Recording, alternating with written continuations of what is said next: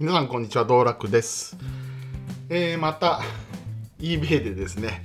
えー、ちょっと服をポチってみました。といってもまたネルシャツってわけではなくて今回は、えー、私としては珍しい。多分これもヴィンテージっていうあの古着屋さんの方でいうところのヴィンテージって呼ばれる年代の、えー、ジーンズになるんじゃないかなと思うんですけれどもまあごたごた言わずにとりあえずちょっと開けてみましょうかね。まあ、一応 eBay の写真で見る限りは80年代前半81年か2年だったかな。の頃の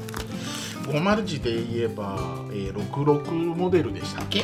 とかっていうのが売られていた頃のはい道楽です、えー、ここでですね、えー、収録の時にはですねなんか舞い上がっちゃってヴィンテージのデニムじゃないのかとかえ、66のモデルが、え、売られていた時みたいなことを言ってますけれども、え、編集の時にですねよくよく調べてみれば66の後期ですね。66の後期が、え、どんなに長く見てもいろいろ調べた結果長く見ても1980年の中で、え、66後期から、え、赤耳にモデルチェンジしていると。要は収縮率が8%から10%っていう表記に、え内タグの表記が変わっていうモデルに、えモデルチェンジがしているということで81年となるとゴマリッチの赤耳が出ていた時代ですね。で83年に、えコンミルズ社が赤耳付きのセルビジ付きのデニムの生産をやめてで在庫がまあ、生地の残ね、生地の在庫を使って、リバイスが86年ぐらいまで、えー、赤耳を、えー、作っていたと。で、それ以後は、まあ一般にレギュラーと呼ばれるですね、モデルですよね。えー、80年代の後半から90年代、2000年の頭、アメリカ、メイド USA で亡くなる2000年の頭まで、えー、作られている、まあ、レギュラーと呼ばれるものになるらしいんですけれどもそういう意味で、えー、今回私が購入した81年の517についてはちょうど501の赤耳が販売されていた頃の、えー、モデルになるということで訂正させてもらいます。517ですね。サドルマン。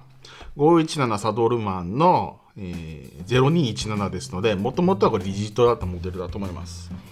でもご覧の通りえー、まだワンウォッシュかツーウォッシュぐらいのものすごく、えー、濃いインディゴですね。ちょっとこのとこポチポチっとこうほつれたりしてる部分もありますけれども。でスモール E のタグですね。えー、っとこのなんていうよくわか僕わかんないんですけど見方わかんないんですけどこの、えー、ポケットの裏はチェーンステッチになってます。でえっ、ー、と、まあ、517ですのであのトップボタンは銅ですね。でよく言われているジップが42タロンってやつなんだと思うんですけど。あそうですね。分かりますかねこれ。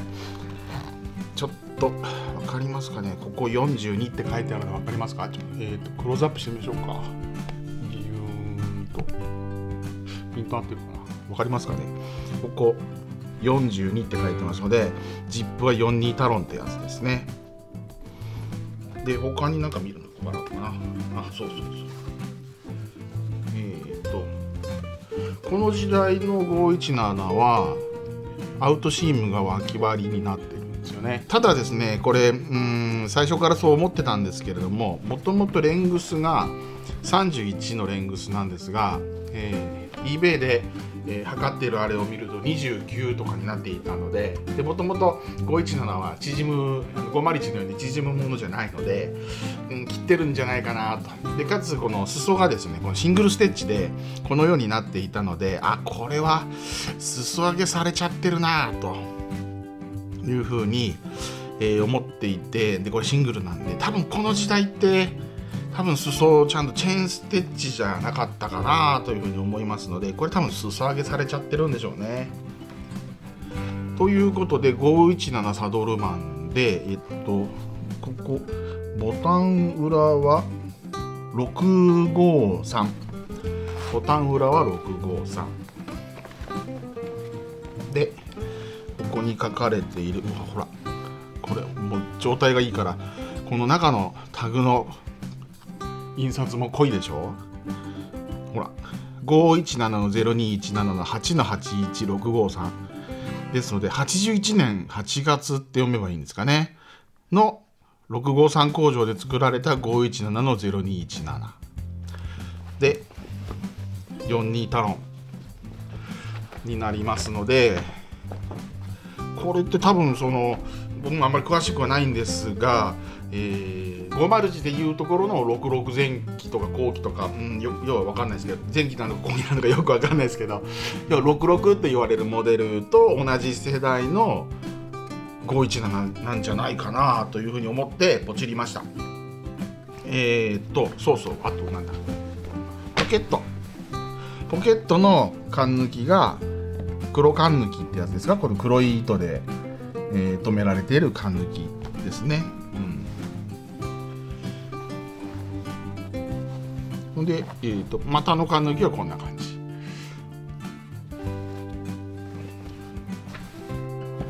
80年代のその、えー、何？517にあ517じゃない。80年代のリーバイスにあののタあのパッチでここに書かれてるケアインストラクションなんたらかんたらっていうこのここちっちゃな文字で印刷されてるやつ。後にこの赤いプリント赤い、ね、印刷になっちゃうんですけどがこれ黒く書かれている時代のやつですね。でウエスト34レグ31でえっとジャラーナさんで買ったやつが33でレングス29でこれはちょっと先ほど言いました通り裾上げされちゃってて確か28とか9ぐらいの長さになってたかと思いますね。ただ。細かなところは見ていただいた通りなんですけれどもまあえー、と。こちらにある通り8の81の653 653工場で81年8月に作成された517の0217 81年というとですね今から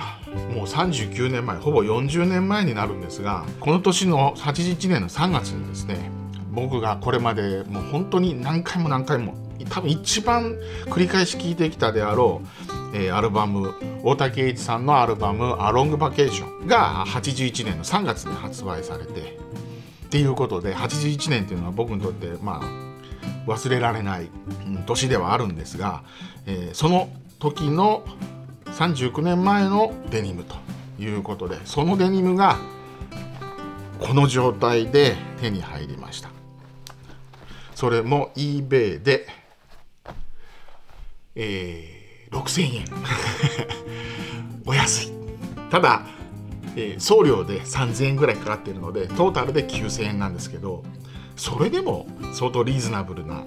値段なんじゃないかなというふうに思っています、唯一ちょっとね不安なのはこれ偽物じゃないよなっていうそこだけなんですけどね。ほらこの銅の部分もこう結構綺麗に輝いてたりして本当これなんかデッドだと思うんですよね。ただ裾がまあ残念ながらカットされていてでその裾上げもなんかちょっといまいちっていう状況なんですけどね。ということでうん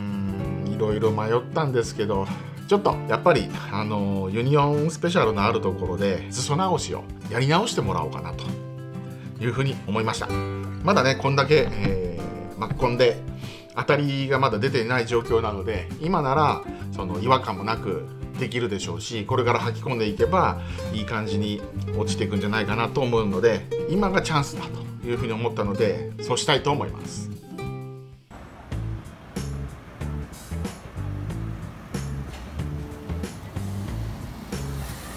eBay で落札した517の裾をシングルからチェーンステッチに変えてもらうためにここへやってきました。行ってみましょう。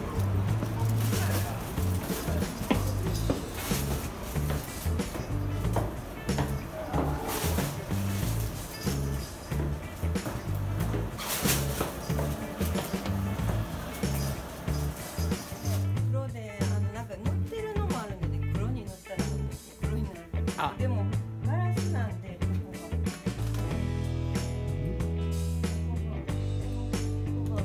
はいはい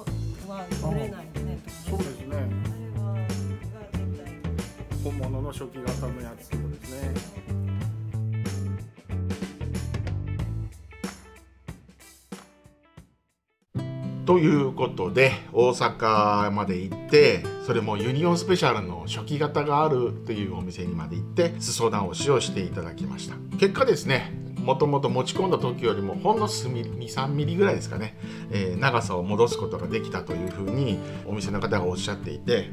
でどのような形になったかというとはいこんな感じ。ちょっとクローズアップしましょうか。こんな感じですね。で中はこう。ねちゃんとこう三つ折りに折られてギリギリのところちゃんとチェーンステッチでなっていますのでこっちの方がずっといいですよね。まあこれからですよねこのここがパッカリングが出てなみなみが出てくるのは。これから水を何回か通して洗っていくことによってどんどんそれが出てくるんじゃないかなというふうに思っています。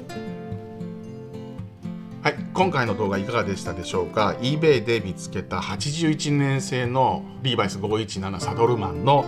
このマッコンの状態のワンウォッシュかツーウォッシュぐらいのものを買ってみました。さらにえ裾上げされていたところがちょっと残念な裾上げの仕方だったので